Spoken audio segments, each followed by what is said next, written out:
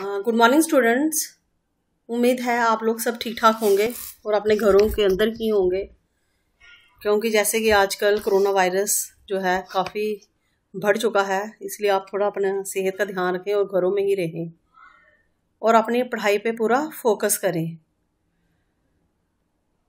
Schools तो खुल चुके हैं बच्चों, मगर जो स्कूल में है, आप प्रॉपर क्लास जो है वो भी चल नहीं रही है। अगर आपको कोई डाउट्स हैं तो आप वो पूछने के लिए जा सकते हो। बट आपको जो पढ़ाई अभी ऑनलाइन ही करवाई जा रही है, वो ऑनलाइन जो है, वो कंटिन्यू है। तो प्लीज़ आप ध्यान रखें और घरों में रहें और अगर कोई डाउट है तो आप अपने स्कूल में पूछने के लिए भी जा सकते हैं। तो मैंने काफ़ी सारे वीडियोस क्लास टेंथ के बनाए थे तो बच्चे फिर बोलने लगे मैम आप क्लास ट्वेल्थ के बारे में भी कुछ वीडियोस बना दो।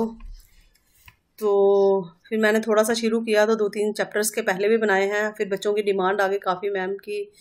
ये जो love across this all desert है, इस लेसन का भी वीडियो बना दीजिए, क्योंकि पेपर्स भी पास आ रहे हैं तो बच्चों को थोड़ी टेंशन भी हो रही हैं। तो चलो मैंने सोचा आज ये वाला लेसन जो है, आज इसका वीडियो बना ही देते हैं। ये जो वीडियो शॉर्ट स्टोरी है love across this salt desert के बारे में है, जिसको कि बाय कैकी एन दारूवालिया ने लिखा है। ये जो पोइट थे, ये काफ़ी फ़ेमस थे राइटर हैं पहले बट ये पोइट भी हैं। और इनका जो जन्म है, वो 24 जनवरी 24 जन 1937 में लाहौर में हुआ था। वो एक इंडियन राइटर ही हैं, क्योंकि जब 1937 में उनका जन्म हुआ, तब इंडिया पाकिस्तान में नहीं था, तब एक ही कंट्री थी। तो ये एक इंडियन राइटर हैं, जिन्होंने इंग्लिश में काफ़ी कुछ लिखा है। तो इन्होंने पोइम्स भी लिखी हैं काफ़ी सारी वो काफ़ी पॉपुलर पोइट हैं। तो ये जो पोइम है, ये जो पोइम नहीं सॉरी ये जो शॉर्ट स्टोरी है जो कश क्षेत्र है राजस्थान में, वहाँ की है। तो ये एक बहुत बड़ा जो कश क्षेत्र है, बहुत बड़ा विशाल और सुनसान मरुस्थल है, एक रेगिस्तान है। जो भारत की उस सीमा का भाग है, जो पाकिस्तान के सिंध प्रांत के साथ लगती है। मतलब मैंने आपको बताया कि जैसे राजस्थान का जो थोड़ा सा राजस्थान और थोड़ा सा गुजरात के बीच में जो क्षेत्र जो है, आता है राज्य तो जो थोड़ी जो पाकिस्तान का सिंध प्रांत है, उसके साथ भी लगता है। ये जो रेगिस्तान है, इसको पार करना काफ़ी असंभव है। किंतु फिर भी कुछ लोग क्या करते हैं, पाकिस्तान में तस जो तस्करी करते हैं, स्मगलिंग वगैरह, उसको कर चोरी छिपे चले ही जाते हैं वहाँ, जे काम करने के लिए ऐसा वाला। और कुछ पाकिस्तान के लोग भी वहाँ से यहाँ पे आ जाते हैं। एक्चुअली जहाँ का जो वो है रेगिस्तान है और काफ़ी काफ़ी देर तक बारिश नहीं होती है और फ़सल वगैरह भी नहीं होती तो बाहर के क्षेत्रों में काम करना जाना भी पॉसिबल नहीं है। तो लोग क्या करते हैं, फिर यही रास्ता अपनाते हैं। स्मगलिंग से ही पैसे कमाते हैं और अपनी रोज़मर्रा की जो चीज़ें हैं, उनको पूरा करते हैं। और ये जो लोग हैं, प्राय कहाँ रहने वाले होते हैं? इन्हीं सीमावर्ती क्षेत्र के रहने वाले होते हैं। इस कहानी में जो नायक है, नायक मीन्स जो हीरो है, वो उसका नाम क्या था? नाजम हुसैन, जो कि इसी गाँव का रहने वाला था। उसके पिताजी भी अन्य लोगों की भांति यही स्मगलिंग का व्यापार करते थे। कुछ एक बार वो अपने पुत्र जो, जिसका नाम कि नाजम हुसैन था, उसको अपने साथ पाकिस्तान ले गए थे। वे सीमा पार एक पास, पाकिस्तानी गाँव में जाते हैं। वहाँ नाजम हुसैन का फातिमा नाम की एक लड़की से प्यार हो जाता है। वो जब वो प्यार हो जाता है फातिमा नाम की लड़की से तो ये जो कहानी है, उसी के इर्द गिर्द पूरी घूमती रहती है। इस कहानी में नाजम हुसैन के उस साहस और वीरता का वर्णन किया गया है, जो वह अपनी प्रेमिका को प्राप्त करने के लिए दिखलाता है। वो पूरा मीन्स अभी छोटा सा बच्चा था, बीस साल का लड़का था। वो जब उसको प्यार हो जाता है तो पूरा रेगिस्तान वो अकेले ही ऐसे वो जाता था, अपने पिताजी या और भी लोग जाते थे, उनके साथ ग्रुप में जाता था। बट जब वो फातिमा को लेने के लिए जाता है उसकी शख्स के साथ शादी करने के लिए तो वो अकेला ही उस रेगिस्तान को पार करके वहाँ पे जाता है। अब मैंने आपको थोड़ी सी इंट्रोडक्शन दे की, दे दी इस चैप्टर में क्या है। तो अब हम शुरू करते हैं। In the beginning when the Rann has been described there was drought for two years जैसे ही कहानी स्टार्ट होती है रैन मीन्स उस जगह को बोला गया है कच्छ क्षेत्र को बोला गया है। जब हम इसकी स्टार्टिंग में जब कहानी स्टार्ट होती है जेबली तो वहाँ पे बताया गया है कि वहाँ पे ड्राउट ड्राउट मैंने सूखा, वहाँ पे दो तीन सालों से सूखा पड़ा होता है, उस क्षेत्र में, उस राजस्थान का जो क्षेत्र है, कच्छ, वहाँ पे सूखा पड़ा था। There was no hope for life in the meantime a girl name Fatima came she proved fortunate for the village वहाँ पे कोई भी ज़िंदगी का होप नहीं था, कोई भी उम्मीद नहीं थी। तो फिर एकदम से वहाँ पे क्या आ जाती है लड़की जिसका नाम की फातिमा था जो उस विलेज के लिए उस गाँव के लिए बड़ी फॉर्चुनेट बड़ी खुशकिस्मत लक्की साबित होती है। फातिमा कौन थी? जो नाजम हुसैन जिसके साथ शादी कर, करने के लिए उसको अपने गाँव में लेके आया था पाकिस्तान से। The day she arrived it rained and the drought ended जिस दिन वो उस गाँव में पाँव रखती है उसी दिन उस गाँव में बारिश होती है और जितना भी सूखा था दो तीन सालों से पड़ा हो वो सब खत्म हो जाता है। She was the daughter of spice seller and she was so beautiful वो किसकी बेटी थी? एक स्पाइस सेलर की। स्पाइस सेलर है, मसाले वगैरह बेचने वाला इंसान। और वो बड़ी सुंदर थी। हर फादर्स नेम वास काले खान। उस, काला शाह। उसके पापे का, पापा जी का नाम क्या था? Kala Shah. The chief Character of the story Nazim, once he visited across the salt desert with his father, Aftab, and he fell in love with Fatima at first sight. जो वो नाजम था वो मेन करेक्टर है इस story का और वो एक बार अपने पापा के साथ उस सैल्ट डेजर्ट को पार करके जिसके उसके पापा का नाम क्या था आफ्ताब को पार करके आ, उस गाँव में जाता है जहाँ पे कि उसके पापा स्मगलिंग के लिए जाते थे तो वो उसका प्यार वहाँ पे किसके साथ हो जाता है? फातिमा नाम की लड़की से हो जाता है, जो कि बड़ी सुंदर थी। The story love across the salt desert depicts a love affair of the true and sincere lovers namely Najam and Fatima ये जो स्टोरी है the love across the salt desert ये एक लव बताया गया है, प्यार बताया गया है, किस तरह से दो सच्चे लोग प्यार करते हैं और उनका प्यार किस तरह से सिंसियर होता है। और जिनका नाम क्या था दोनों का? नाजम एंड फातिमा इस कहानी में सच्चे प्रेम की शक्ति का वर्णन किया गया है। इसमें बताया गया है कि किस तरह सच्चे प्रेम की ज्वाला व्यक्ति को सब प्रकार के खतरों का सामना करने के योग्य बना देती है। कहानी का हीरो जो नाजम हुसैन था, वो अपनी प्रेमिका, जिसका नाम की फातिमा था, के लिए अपने जीवन को खतरे में डाल देता है, किंतु अंत में अपनी प्रेमिका को प्राप्त करने में सफल भी हो जाता है। This specific story I am discussing is set in an Indian town at the outskirts of India and Pakistan in the salty deserts of the Rann of Kutch somewhere in Gujarat or Rajasthan. जो जो specific story है जिसको कि मैं जहाँ पे discuss कर रही हूँ जिस कहाँ की कहानी है इंडियन टाउन था जो कहाँ पे है आउटस्किट्स मैंने बाहरी इंडिया के थोड़ी मतलब कि जो आउटर पार्ट होता है बॉर्डर पार्ट्स होता है वहाँ की हुआ है इंडिया और पाकिस्तान की the salty deserts of the Rann of Kutch जो कश क्षेत्र था, जो कहाँ पे है था थोड़ा सा हिस्सा गुजरात में पड़ता, थोड़ा सा राजस्थान में। The village is completely parched and dry at it has not rain there for three successive years जो गाँव था, पूरी तरह से सूख चुका था, क्योंकि वहाँ पे तीन दो तीन सालों से बिल्कुल भी बारिश नहीं हुई थी और राजस्थान में वैसे ही काम, पानी कम होता है, रेगिस्तान में। तो अगर बारिश नहीं हो दो तीन सालों से तो क्या बुरी हालत होगी वहाँ पे? Many villagers earn their livelihood by smuggling goods across the border और वहाँ के रहने वाले लोग अब अपनी गुजर बजर किस तरह से करते थे, वो अपन जहाँ की कुछ चीज़ों को स्मगल करते थे बॉर्डर के पास ब्राइविंग ब्राइविंग होता है किसी को रिश्वत देना। अब बॉर्डर पार करना है तो बॉर्डर पे पुलिस आर्मी होती है। अब उनको वो क्या करते थे? थोड़ा सा रिश्वत दे के बॉर्डर क्रॉस करते थे। bribing the BSF, Border Security Force, Pakistan Army and bringing back goods from Pakistan and exchange. और फिर क्या करते थे? कुछ चीज़ें पाकिस्तान से भी वहाँ से स्मगलिंग करके वापस लाते थे जिनको आके यहाँ पे बेचते थे। Najam and his father to smuggle stuff into Pakistan and bring back spices from a Pakistan village अब जो नाजम था जो कि हीरो है और उसके पापा आफ्ताब वो भी सेम काम करते थे स्मगलर करते थे गुड्स को, चीज़ों को, पाकिस्तान ले जाते थे कुछ चीज़ों को और फिर वहाँ से वहाँ से स्पाइसेस मसाले वगैरह वहाँ से पाकिस्तान से लाते थे। In the early part of the story Najam is a very shy introvert and reserve boy और जैसे कहानी स्टार्ट होती है तो हमने देखा था कि जो नाजम था, एक बड़ा शाही किस्म का रिज़र्व किस्म का बच्चा था। He was known to be have blushed at the mere mention of a girl उसके सामने कभी अगर आ, किसी लड़की की बात भी करती जाती थी तो वो ब्लश कर जाता था शर्मा जाता था। He had dreamy eyes none of his friends had rank him among the braves और बड़ा सुंदर था। और कोई भी जो उसके दोस्त थे कभी भी नहीं सोचते थे कि ये इतना बहादुर निकलेगा। Even her father Aftab feared the boy would waste away. All that he had and his ancestors had acquired. Even कि जो उसके पापा आफ्ताब थे, उनको भी ये डर लगा रहता फियर मैंने डर लगा रहता था कि जो भी उन्होंने कमाया है या उनके पूर्वज ना इंसेस्टर्स होता है, उसके उनके पूर्वज। उन्होंने जो भी कमाई की है, जो भी प्रॉपर्टी की, इकट्ठी की है, वो जो लड़का सब खराब कर देगा। He consider him too shy to be able to charge money what would he sell वो इतना शर्मिला किस्म का लड़का था कि उसके पापा को ये लगता था, अगर ये कोई चीज़ बेचेगा तो उसके बदले ये किसी से पैसे भी नहीं लेगा।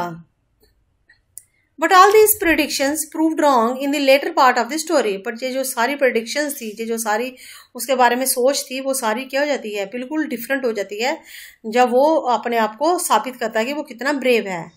Najam turn to be courageous, brave, and determined hero for a romantic movie after his first meet with Fatima, who ignited a spark of love in him. वो अपने आप को little part of the story में, जैसे कि हमारी हिंदी फ़िल्मों के रोमांटिक मूवीज़ जो होती होती होती हैं, उसमें क्या करता है, जो हीरो होता है, वो अपने आप को बताता है कि मैं कितना ब्रेव हूँ, वो अपनी प्यार के लिए क्या कुछ करता है जस्ट लाइक इस स्टोरी में भी है। जब उसको भी फातिमा उसके दिल में एक दिया जला देती है प्यार का तो वो उसके प्यार के लिए अपने आप को पूरा बहादुर साबित करता है। On one visit to Pakistan the hero meets the spice seller daughter eyes meet love at first sight हुआ क्या था? जब वो पाकिस्तान एक बार जाता है अपने पापा के साथ तो उसकी जो मुलाकात है, किससे हो जाती है? एक स्पाइस सेलर की बेटी थी, उसके साथ हो जाती है, आँखें मिलती हैं और उनको प्यार हो जाता है दोनों को। The hero return home with his father then informs his mother of his love that and that he will be going to bring home his bride अब जब वो पाकिस्तान से वापस आता है तो अपने फादर के साथ तो अपनी माँ को बताता है कि उसको उस लड़की से प्यार हो गया है। अब वो फिर से वहाँ वापस जाएगा और उसको दुल्हन बना के वापस लाएगा। As do standard Indian movies mothers she wants her son to be happy जैसे कि हमारी हिंदी फ़िल्मों में होता है, जो माँ होती है, वो अपने बच्चे को खुश देखना चाहती है। But he is concerned of his safety and finally she curiously sends off her son with some food and jewels. अब वो चिंता तो कर रही थी उसकी सेफ्टी के बारे में बट अब अगर उसको रोकती वो तब भी नहीं रुकता, इसलिए उसने सोचा कि इसको जाने दो और उसने उसको कुछ फ़ूड और कुछ ज्वेल्स उसको साथ में दिए। ही अंडरटूक के dangerous journey cross the border उसने एक खतरनाक यात्रा शुरू कर दी। उसने बॉर्डर क्रॉस किया। Cross the border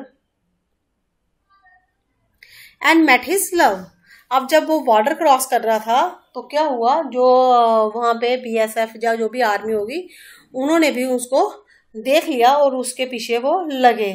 बट वो वहाँ से निकल भागा।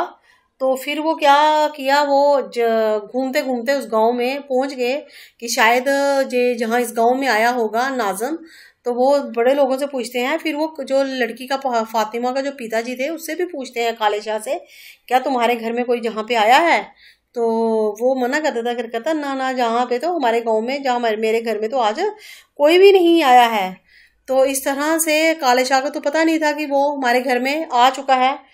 तो वो रात को उनका जो पशुओं वाला कमरा था, जहाँ पे वो जानवर वगैरह बांधते होंगे, उसी में वो रहता है। तो जब सुबह होती है तो वो जो फातिमा थी, वो बताती है अपनी अब्बा को कि, अब्बा, तुम्हारा एक मेहमान आया है। फातिमा ने कहा, जब वह अगली बरपरा था, उसके लिए गर्म दूध का एक गिलास लेकर आई। सुबह सुबह अपने पापा को दूध देने आई, तब उसने अपने पापा को सुनाया कि तुम्हारा एक मेहमान आया है। तो उसने पूछा, कौन आया है? तो कहती नाजम आया है। वो कहता, वो कहाँ था? उसने बोला कि, वो सारी रात हो वो जो जानवरों वाला झोंपड़ा है, उसी में उसने बिताई है। एक पल के लिए तो काले शाह के पैरों से नीचे से ज़मीन ही निकल गई। वो सोचने लगा, अभी तो पुलिस वाले इसको ढूंढ रहे थे पूरी रात और मैंने कहा जहाँ पे कोई भी नहीं बट ये तो मेरे ही घर में था।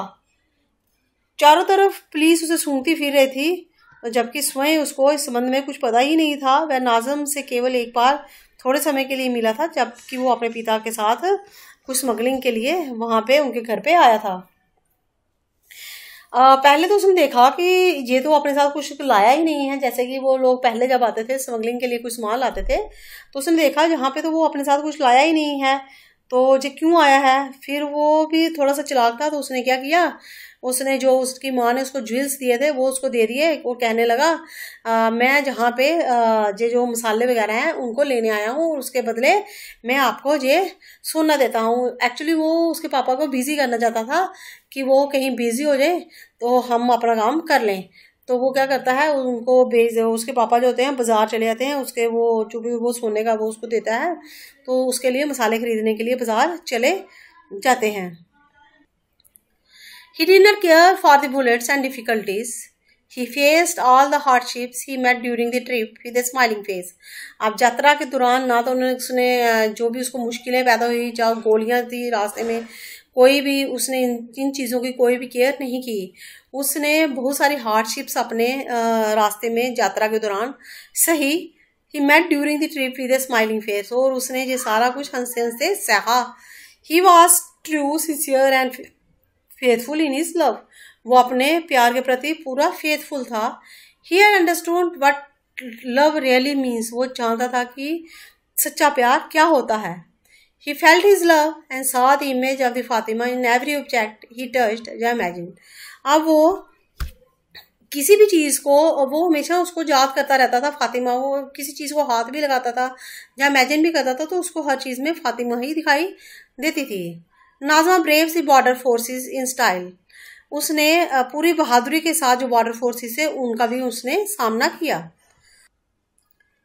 Najam after falling in love with Fatima turn to be daredevil as for his return to Khavda he shift away along with his camel Allah Rakha determining to bring back Fatima as his mother's daughter in law अब नाजम जब वहाँ उसको प्यार हो गया जब फातिमा से तो वो एक जिसके दिल में डर नहीं होता, इस तरह से वो बन गया। जब वो वहाँ से वापस आया जहाँ पाकिस्तान का जो विलेज था, वहाँ से वापस आया तो उसने सोचा कि वो फिर से वापस जाएगा और उसको अपने माँ की बहू बना के अपने घर ले आएगा उसको फातिमा को। इसलिए वो अपना कैमल जो था, उसका जो ऊँट था, अल्लाह रखा, उसके साथ वो वहाँ से जाता है और उस पाकिस्तानी विलेज में पहुँच जाता है। सारे जितने भी हार्डशिप्स थे उनको पार करके he braved all the perils and dangers during the desert और जो उस डेजर्ट में उसको जितने भी जो भी हार्डशिप्स आए, उन सबको पार करके उसने पूरी बहादुरी का दिखाई और वहाँ पे पहुँच गया। और फातिमा भी जो थी, वो उसके साथ भी शादी करने के लिए, उसको भी इसलिए प्यार हो जाता है। एक्चुअली जो उसके पापा थे, वो भी उसकी शादी एक गाँव के लड़के के साथ करना चाहते थे, जो बिल्कुल सुंदर नहीं था। और वो इतना ज़्यादा हकलाता था कि उसकी बात कोई भी समझ नहीं आती थी।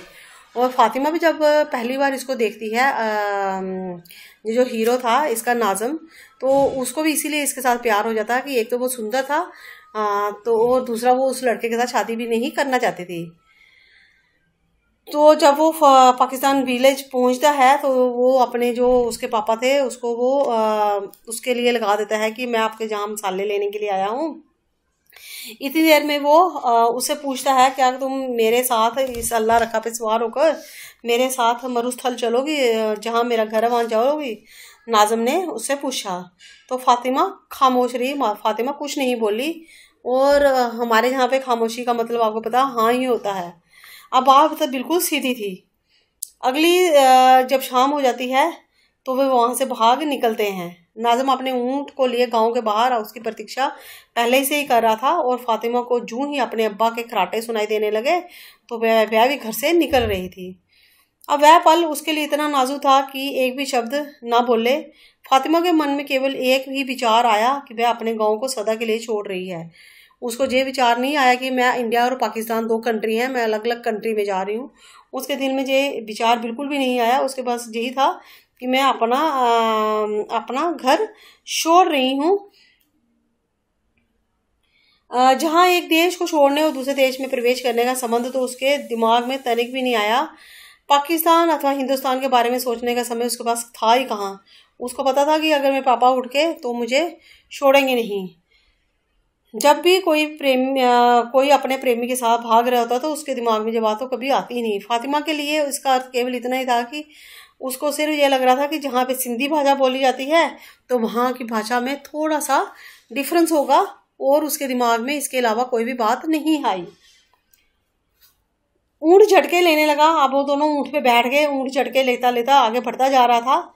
नाजम ने भी आ, ने भी ऊँट को काफ़ी तेज़ तेज़ भगाना शुरू कर दिया। अब उसको लगता था कि अगर हम कहीं रास्ते में रुके तो हो सकता है कि हमारे पीछा वो कर रहे होंगे उसके पिताजी वगैरह तो हमें पकड़ लेंगे।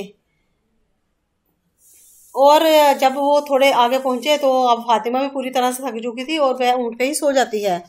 दोपहर ढलने तक उसकी आँख खुली तो उसने देखा कि आकाश में बादल छाए हुए थे। वे बादल शीघ्र ही उसे घने हो, होते गए और भयानक लगने लगे। मतलब ये अब आपको जैसे कि मैंने स्टार्टिंग में बताया कि जैसे वो गाँव में एंटर करती है तो बारिश होती है और सारा सूखा खत्म हो जाता है।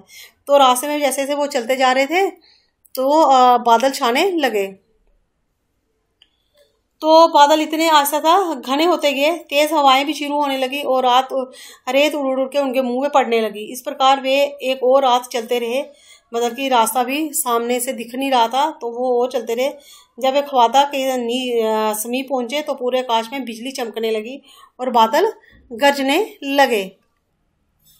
His daring was crowned with success when he finally stepped on to the, अब जो भी उसकी सक्सेस हो गई थी, अब वो फातिमा को अपने साथ ले गया था। उस, जब वो गाँव में पहुँचने लगा stepped into the into the uh, Khavda soil with Fatima, bringing in territorial rains which ended three years of death daring drought and thus bringing relief and new lease of life to Khawadians, who in return welcomed Fatima with open arms as a bring, uh, bringer of joy to them. अब जैसे ही वो enter करते हैं गाँव में तो बारिश start होती है और जो भी ड्राउट होता है, वो तीन सालों का जो भी सूखा पड़ा था उनके गाँव में तो वो सब खत्म हो जाता है और लोगों को इस चीज़ से रिलीफ मिलता है। राहत की सांस आती है, इसलिए वो क्या करते हैं, फातिमा थी जो उसका वेलकम करते हैं वहाँ पे। तो रास्ते में जैसे ही वो आग चमकने लगी बादल गरजने लगे तो जो उस रात आफ्ताब के जो पिताजी थे, उसने भी क्या किया? दरवाज़ा बार बार जो आंधी आती थी, दरवाज़ा कड़कड़ कड़कड़ आवाज़ आती थी, वो तीन बार उठ के वहाँ से गए दरवाज़ा खोलने के लिए। तो उन्होंने जब दरवाज़ा खोलते थे, फिर लगता था कि दरवाज़ा तो आंधी खड़का रही है, आंधी की हवाओं से दरवाज़ा खट रहा है कोई बाहर से नहीं खड़का रहा। तो जब चौथी बार फिर से दरवाज़ा खड़कता है तो वो खोलता है तो देखा तो आगे अल्लाह रखा घबराया हुआ खड़ा था। अल्लाह रखा था, था उनका उनका ऊँट था जो कि घबराया हुआ खड़ा था क्योंकि उसने भी कभी इतनी बिजली चमकते हुए कि मैं जैसे बताया कि वहाँ पे तो बारिश हो ही नहीं रही थी कई सालों से तो उसने भी ये बिजली चमकते हुए कहीं नहीं देखी थी। अब वो पूरी तरह से घबरा रहा था। तो आफ्ताब को भी अब उसके जो पिताजी थे आफ्ताब उन्होंने भी अब थोड़ा सा अपना रोप दिखाने के लिए बोलने लगे अरे तुम अपने बेटे को अरे तुम अपने साथ कुछ लोटे हो तो क्या कुछ लेके भी आए हो तो नाजम उसको जवाब देने लगा हाँ हाँ। नाजम ने उत्तर दिया। जब उसने फातिमा का हाथ अंदर आ, अंदर की तरफ़ खींच के हाथ कर दिया वर्षों वर्षा जोरों से पड़ने लगी और ये सब ये सब कुछ जो भी तीन वर्षों का जो भी सूखा था उनके वहाँ पड़ा हुआ तो वो सब खत्म हो गया।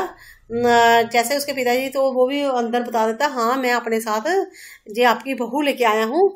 तो जैसे ही फातिमा उस गाँव में कदम रखती है तो मतलब कि वो इतनी लक्की साबित हुई उस गाँव के लिए कि उसके आने से वहाँ पे आ, बारिश होने लगी और लोग आ, जो थे वहाँ गाँव के वो भी उन्होंने भी इसलिए उसको अपना दिया अपना लिया कि ये हमारे गाँव के लिए बड़ी लक्की है और जो भी सूखा सूखा था वो सब खत्म हो गया। तो इस तरह से वो सब लोग खुशी खुशी रहने लगे। बच्चों जो हम जो हमारा जो चैप्टर था लव क्रॉस सॉल्ट डेजर्ट ये ख़त्म हो गया। आ, इसके क्वेश्चन आंसर्स भी मैं जल्दी ही डालने की कोशिश करूँगी। मुझे पूरा है कि आप लोगों के पेपर्स आने वाले हैं तो आपको हेल्प हो जाएगी इसमें। तो मैं एक आधे दिन में उसको भी कंप्लीट करके डाल दूँगी। तो बाकी अगर आपके को टेंथ क्लास का कोई भी, अगर आपके भाई बहन भी पढ़ते होंगे, टेंथ क्लास का कोई भी लेसन का वीडियो चाहिए तो प्लीज़ डिस्क्रिप्शन में आके चेक कीजिए, मैंने वहाँ लिंक्स डाल रखे हैं। अगर आपको इस वीडियो में कुछ चीज़ समझ नहीं आई तो प्लीज़ कमेंट करना, मैं जल्दी से जल्दी रिप्लाई करने की कोशिश करूँगी। अगर आपको किसी और में भी कोई प्रॉब्लम आ रही है लेसन्स में तो प्लीज़ कमेंट कीजिए, मैं आपकी पूरी हेल्प करने की कोशिश करूँगी।